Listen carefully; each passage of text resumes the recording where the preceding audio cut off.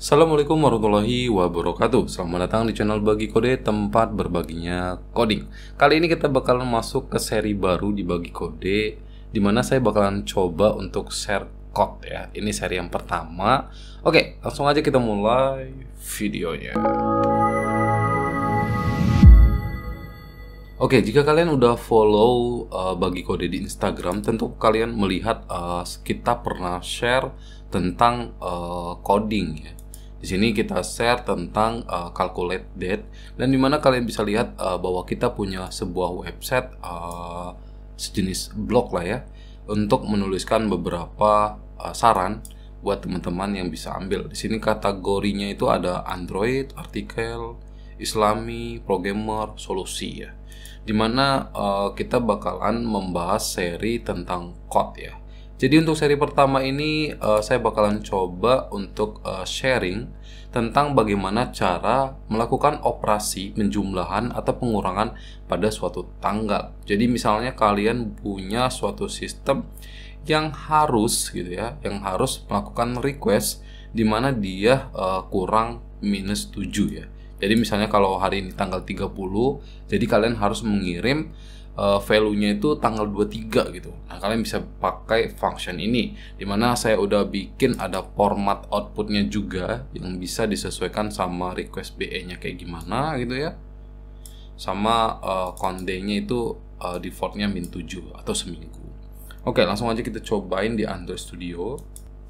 Ini uh, saya pakai Android Studio versi Flamingo ya 2022 So kita bikin langsung nih project, kemudian kita pilih empty view activity ya, terus next. Di sini kita bakalan tulis uh, nama aplikasinya seri kode ya. Ini seri pertama. Ini package-nya saya ganti jadi bagi kode.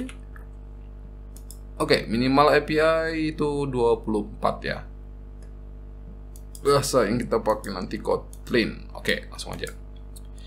Kenapa saya membahas ini? Ya siapa tahu ada teman-teman yang masih uh, kurang paham gitu ya, bagaimana cara uh, mengadaptasi uh, artikel yang kita buat ya. Di sini uh, saya menuliskan bahwa uh, kali ini kita menjelaskan kode bagaimana cara mengurangi atau menambahkan hari pada date ya. Ini uh, kodenya.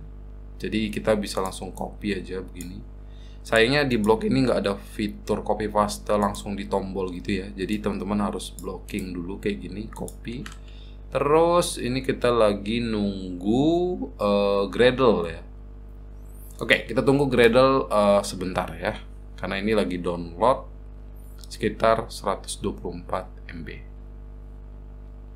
A few moments later.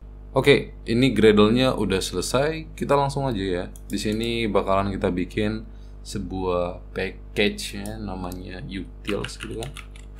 Terus di dalam utils kita bikin kelas namanya extension. Oke ini kelasnya kalian bisa hapus kemudian kalian paste code yang tadi. Kenapa kalian hapus? Agar fungsi kalendernya itu bisa langsung dipanggil gitu. Ini tinggal import aja. Oke. Dan selesai. Wow. So easy sekali ya. Jadi kita bakalan coba code ini di bagian testing aja.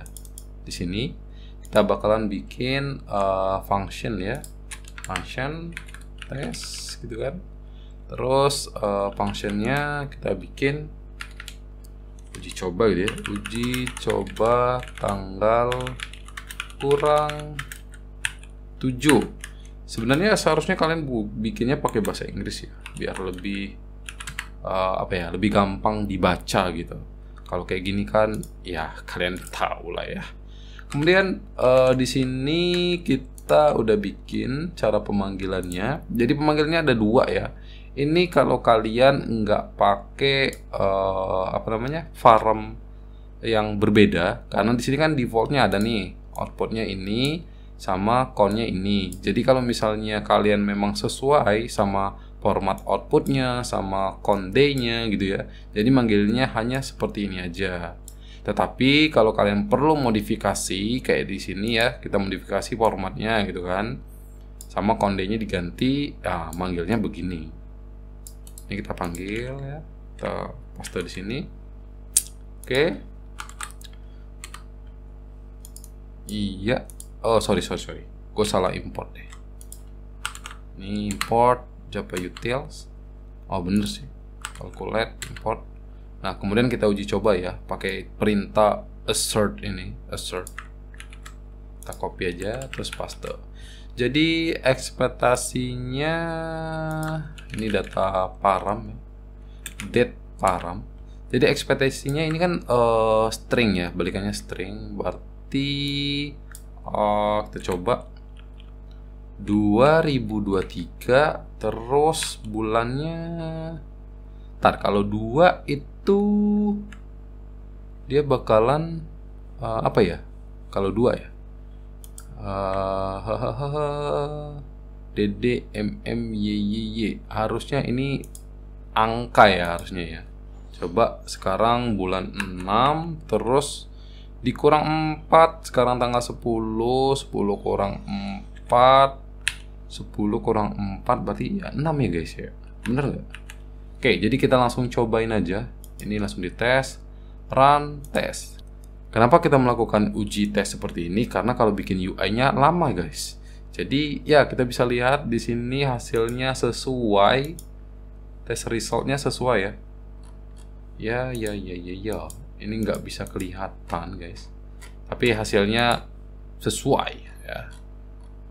Ya, ini udah hijau ya. Coba kalau kita ganti misalkan, misalnya uh, plus ya, plus 4 gitu ya. Coba di run